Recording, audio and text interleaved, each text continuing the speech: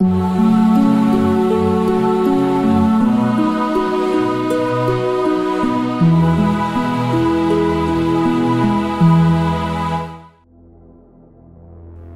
tres palabras que te salvarán en tus peores días. Pero primero tenemos que entender qué es lo que está causando nuestros peores días. Tu amígdala está situada en la parte más antigua de tu cerebro.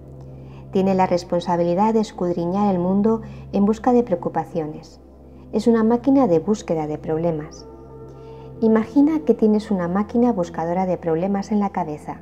Siempre está en marcha, siempre buscando durante todo el día y toda la noche.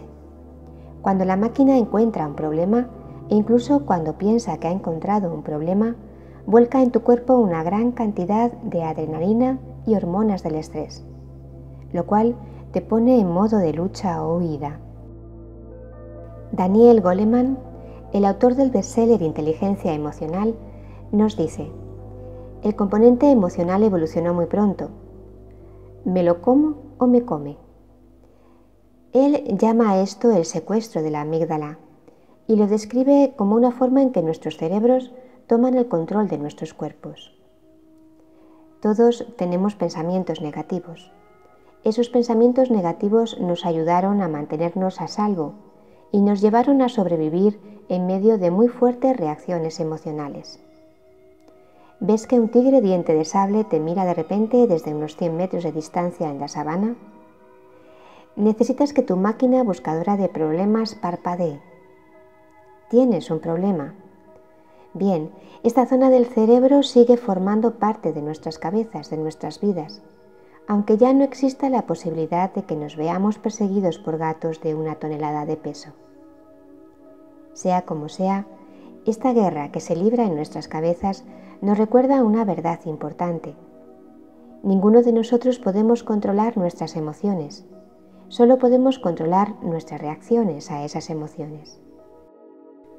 Además de la amígdala, nuestros cerebros también han desarrollado la corteza prefrontal, que es la responsable del pensamiento racional. Contiene nuestros pensamientos más complejos. Digamos que es un audio de relajación, reproduce una música tranquila, es contemplativa y tiene la responsabilidad de pensar antes de actuar. Decide qué hacer antes de que lo hagamos. La corteza prefrontal nos ayuda a pensar bien las cosas. Es responsable del lenguaje y de nuestra capacidad de resolver problemas complejos. A veces podemos sentir que la máquina buscadora de problemas y el audio de relajación están a todo volumen al mismo tiempo. Digamos que te piden que hagas una presentación para el director general de la empresa a última hora de la tarde. De pronto tu máquina buscadora de problemas emite destellos de color rojo brillante y hace ese molesto zumbido que emite la alarma del reloj por la mañana. Mientras tanto, tu audio de relajación reproduce cantos de pájaros y el sonido de las olas al romper en la playa. Este es tu cerebro tomándose tiempo para decidir qué hacer, tratando de pensar bien las cosas en lugar de actuar a partir de algún impulso.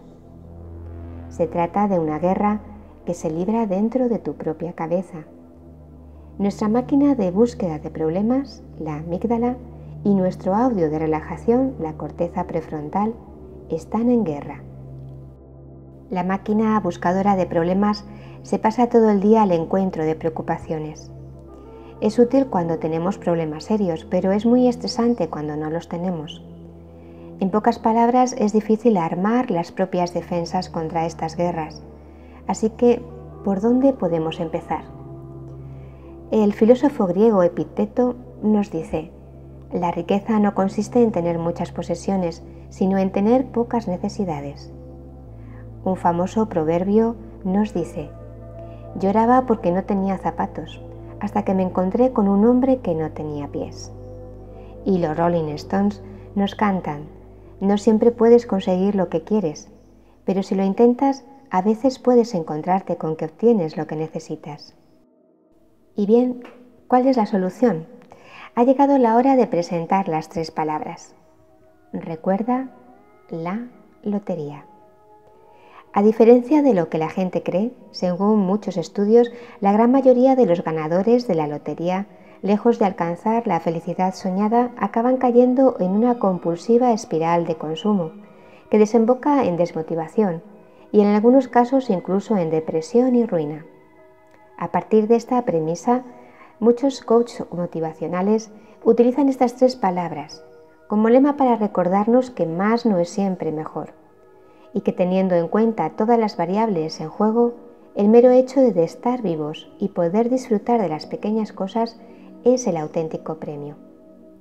Recuerda, la lotería significa que seas consciente de que tu máquina de buscar problemas ha secuestrado a tu amígdala y que recuerdes la suerte que tienes de estar donde estás.